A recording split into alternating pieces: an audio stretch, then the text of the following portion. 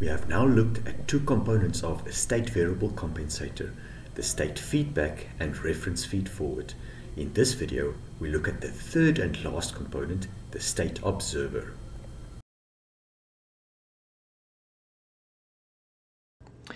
The full state variable compensator is shown in this diagram. The plant is given by this block with input u and output y.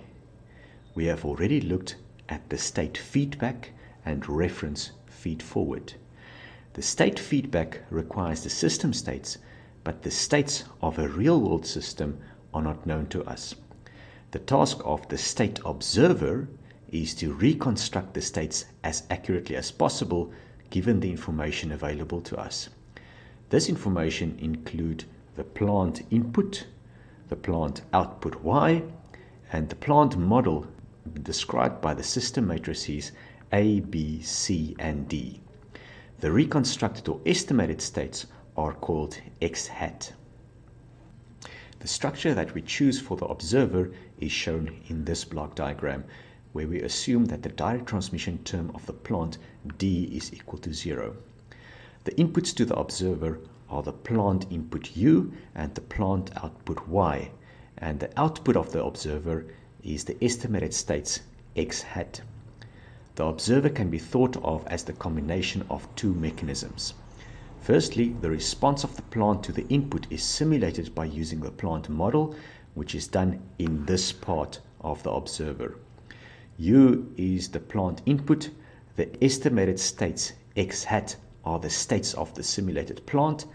Y hat is the output of the simulated plant and the system matrices A, B, and C come from the plant model. Only a simulation of the plant, however, would not accurately reconstruct the states since any modeling errors or disturbances that the plant experience will cause the behavior of the simulated plant to deviate from that of the actual plant. To minimize this deviation, the second mechanism compares the simulated output with the actual output and the difference is multiplied with the observer gain m, which is a column vector. The result is added to x hat dot and is supposed to correct any errors in the estimated states. If the difference between the simulated and actual outputs is small, this corrective action will be small. But if the difference between the simulated and actual outputs is large, this corrective action will be large. The question we now address is how to design the observer gain M. We want to find an observer gain such that the simulation mechanism and the correction mechanism work together well to minimize the difference between the observer states and plant states. We do this by describing the dynamics of the observer in terms of M, and we then design M such that the observer has some required dynamics. We start this process by writing down the equations describing the observer from the block diagram. In equation 1, x hat dot is equal to a times x hat plus b times u plus m times y minus y hat. And in equation 2, y hat is equal to c times x hat. Equations 1 and 2 from the previous page are rewritten here. We want the estimated states to be as close as possible to the plant states and to this end we define the difference between them or the state error as x tilde equal to the plant states x minus the estimated states x hat. Our goal is to describe the dynamics of the state error, or informally, how quickly the state error goes to zero. To do this, we first take the derivative of the state error, which is equal to x dot minus x hat dot. We then substitute ax plus bu for x dot from the state equation of the plant model and the right-hand side of equation 1 for x hat dot. In the next line, we substitute cx for y from the output equation of the plant model and the right-hand side of equation 2 for x hat and then gather the terms containing a and the terms containing m. We now recognize x minus x hat to be the state error x tilde and we can write this equation in terms of x tilde only. After taking out the common factor x tilde, we get x tilde dot is equal to a minus mc times x tilde. This equation is a standard state equation with states x tilde and new A matrix A minus MC.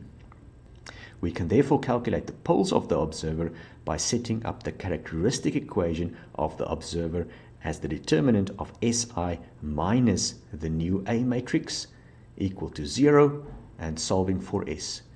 Remember that these poles describe the dynamics of the state error or the difference between the estimated and actual states. We can now design the observer gain M such that the observer poles are in desired locations. To illustrate these concepts, let's work through an example. We use the same hanging pendulum model as previously with the state variable model of the plant given by these equations. We can now describe the observer dynamics by calculating the observer characteristic polynomial in terms of the observer gain m. The characteristic polynomial is given by the determinant of Si minus A plus m times C which results in the determinant of this matrix. After calculating the determinant, we obtain this polynomial where the coefficients are written in terms of the elements of the observer gain vector m. We describe the desired observer dynamics by specifying the observer poles. In this example, we choose both observer poles to lie at minus 20. We can now calculate the desired characteristic polynomial as the product of s minus each pole, which results in this polynomial. We now compare the coefficients of the observer characteristic polynomial with that of the desired observer characteristic polynomial and we get m1 equal to 40 and 9.81 plus m2 equal to 400. The observer gain vector m is therefore given by 40 and 390.19. In this example, it is possible to place the observer poles in any desired location. We will address the question for which systems we can place the observer poles anywhere at a later stage. Also note that the design of the observer gain follows a very similar process to the design of the state feedback gain. We will exploit this fact at a later stage.